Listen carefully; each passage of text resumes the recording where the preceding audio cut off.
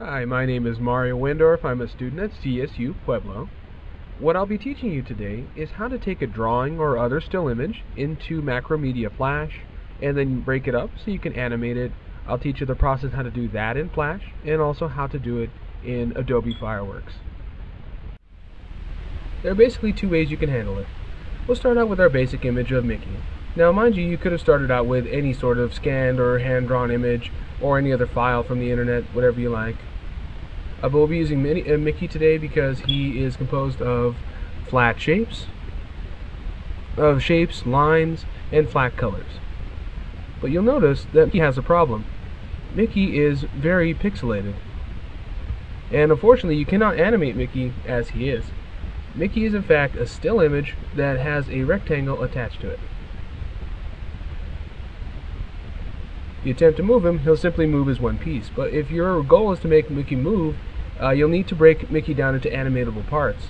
Now obviously this image was not made to do just this. So what we're going to do today is we're going to learn how to separate this image into workable parts. There are two ways to do this.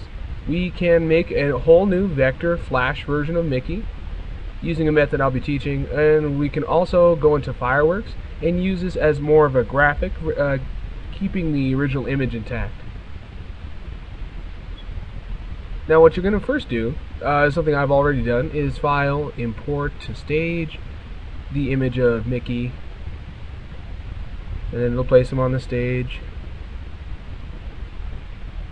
And what you're going to do is you're going to one layer above this one, insert a new layer, and uh, begin to do uh, the most laborious part of the process.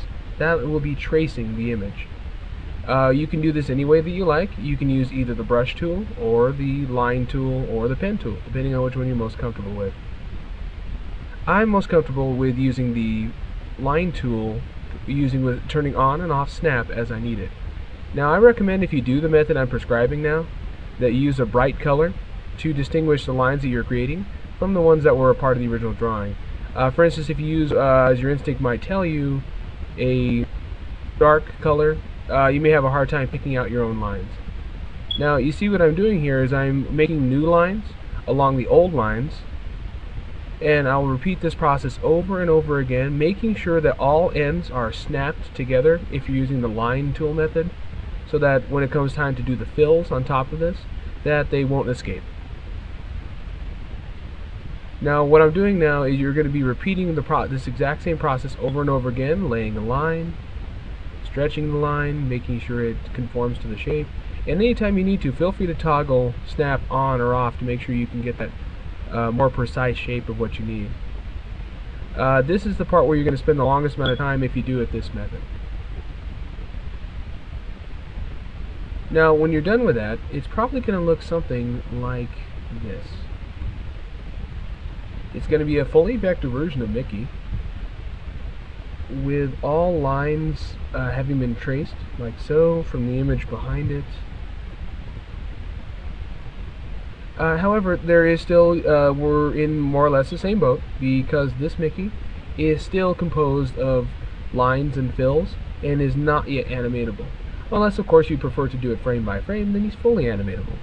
But if you're like me, you probably will use the symbol library and symbol, uh, symbol animating technique now, uh, this brings us to our next step. If you've, oh, by the way, when you're doing your fills, uh, one of the best places to get the colors for the fills is the original image. What you do is uh, select your fill color, select the uh, original color you'd like to work with, go into your new new image that you traced, and then use the bucket to fill. Now, uh, since we were still in the same boat, we uh, need to go with from this vector version to a animated vector version, what we'll do is we'll carefully select each part of the Mickey image. Any part that's meant to be animated separately for the others needs to be uh, uh, selected individually. Now mind you, this process can be done in one of two ways. You can simply go in and double click and highlight what you need to, or you can use the lasso tool to select sort of a general area, like so, and then you can actually go in and actually deselect and subtract from your selection what you are not going to need. I find this to be the easier of the two if it's a more complex drawing. And now that you've selected just the head, just this piece, uh, what you do is you'll right click and convert to symbol, and then you name it something probably like Mickey head. Now I've done that process for all of the pieces of, of Mickey. Now let's see, I'll show you what that looks like. See, all the pieces of Mickey can be moved separately.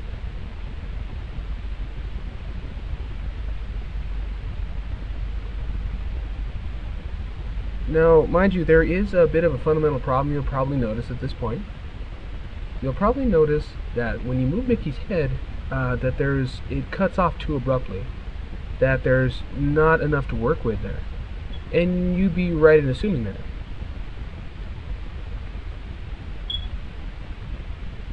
Uh, what you're going to want to do, and this is the part that's the most difficult, is you're going to take the go back a step.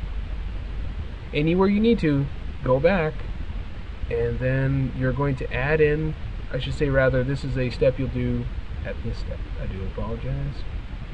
What you'll need to do is at this step, when you've made all these pieces, uh, so specifically this chest piece needs to have more behind it. So you're probably going to double click on it, go inside of it, and you're going to edit the symbol, and you're going to want to draw new lines behind the head. This is where your skills as an artist are going to come into play. You're going to need to approximate what it looked like behind. And then when you do this, uh, oh, in my case, I should probably get rid of this extra line. Let's see, if you back up, and now if you move the head, actually this is in the wrong order. There you go. Now when you attempt to move the head, you'll notice that there's something behind it, and you won't have as much problems. You'll need to do this sort of approximating for a lot of the um, animation, depending on how complex it is and how many separate moving parts that you have. So uh, having done this, uh, we move on to the next step. That was what our goal was all along, was to make a fully animatable version of Mickey. Now, obviously, uh, animation you're probably going to know how to do yourself, but uh, in case you haven't, I'll explain a little bit about what we're going to see. Let's see, these are keyframes. Each keyframe tells Flash that you want something in particular to happen at that moment.